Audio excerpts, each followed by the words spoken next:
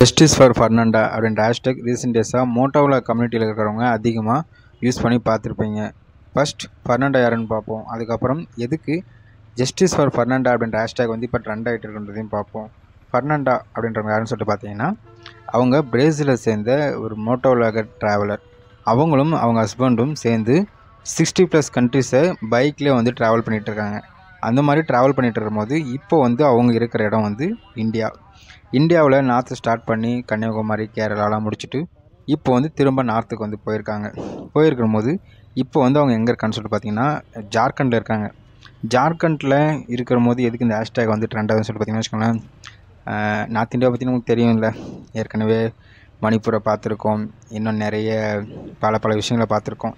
அந்த மாதிரி இவங்க வந்து ஜார்க்கண்டில் வந்து ட்ராவல் பண்ணிட்டு இருக்கும்போது அங்கே வந்து ஒரு ஏழு பொறுக்கி நாய்ங்க அவங்களையும் அவங்க ஹஸ்பண்டையும் வந்து இது அடித்து போட்டு அவங்க கிட்ட இருக்கிற நகை பொருள் அது எல்லாத்தையும் திருடினது மட்டும் இல்லாமல் அந்த ஏழு பேரும் சேர்ந்து இவங்கள கொடூரமாக ரேப் பண்ணியிருக்காங்க ரேப் பண்ணிவிட்டு இப்போ வந்து அவங்க ஒரு ஃபியூ டேஸாக ஹாஸ்பிட்டலில் தான் இருக்கிறாங்க. பட் அந்த ஸ்டேட் கவர்மெண்ட்டும் அந்த போலீஸும் எந்த ஒரு ஆக்ஷனுமே எடுக்கலை. அவங்க போய் என்ன எடுக்க போகிறாங்க ஏன்னா மணிப்பூரில் வந்துனது நடந்தது வீடியோ வந்துனது வெளியான போது கூட அவங்க எந்த ஒரு ஆக்ஷனுமே எடுக்காமல் தானே இருந்தாங்க.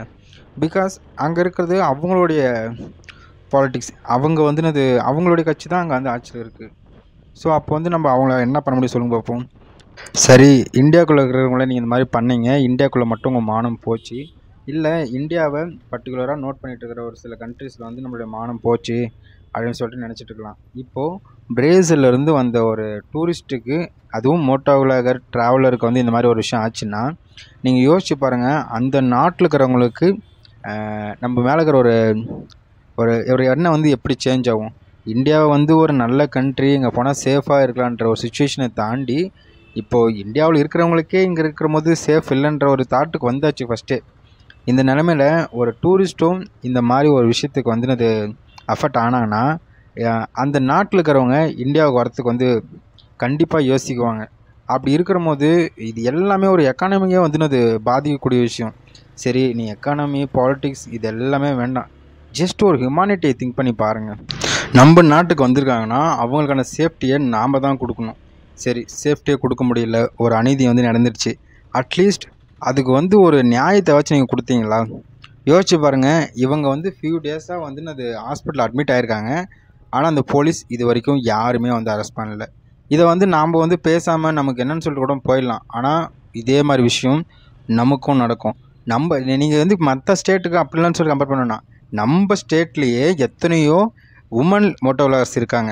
அவங்க எங்கேயோ இங்கே இங்கே நிறைய இடத்துக்கு சோலோவாக ட்ராவல் பண்ணிகிட்ருக்காங்க இன்றைக்கி அவங்களுக்கு நடந்தது தான் நாளைக்கு நம்ம பொண்ணுங்களுக்கும் நடக்கும். ஸோ இன்றைக்கி நம்ம இந்த விஷயத்த வந்து பேசாமல் விட்டோம்னா நாளைக்கு அது நமக்கும் வரும்ன்றதை யாருமே மறந்துடாதீங்க.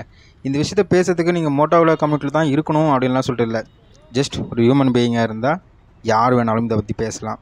தயவு செஞ்சு பேசுங்க. இங்கே பேசினா தான் எல்லாமே மாறும். அந்த அந்த ஏழு பேரை அரெஸ்ட் பண்ணி அவங்க வந்து இந்த நாட்டை விட்டு போகிறதுக்குள்ளார அவங்களுக்கான ஒரு நியாயம் வந்து கிடைக்கணும். கிடைக்கணும்னா அதுக்கு நம்ம பேசி தான் ஆகணும். நீங்களும் நீங்கள் வந்து எந்த விதமான ஒரு யூடியூபராக இல்லை ஒரு காமன் பர்சனாக இருக்கலாம் என்ன வேணாலும் இருக்கலாம். தயவு செஞ்சு இந்த ஹேஷ்டேக் வந்து யூஸ் பண்ணுங்கள் நீங்கள் இதை பற்றி பேசுங்க. Justice for ஃபர்னாண்டா